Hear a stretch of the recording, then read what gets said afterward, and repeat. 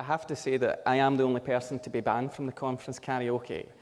And it's mainly because one year I went, and after the karaoke, I went out after it, and then I came into conference. So I woke up, oh my God, where am I? Oh, I'm in Aberdeen. What am I in Aberdeen for?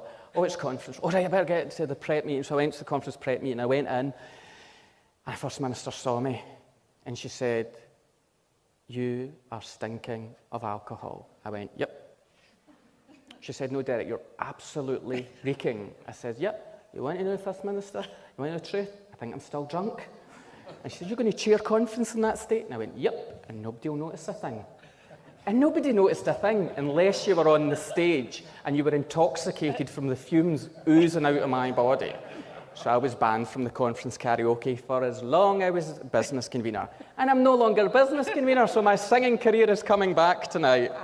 Uh, I'm not going tonight because I've got media in the morning, so I'm going to be very responsible.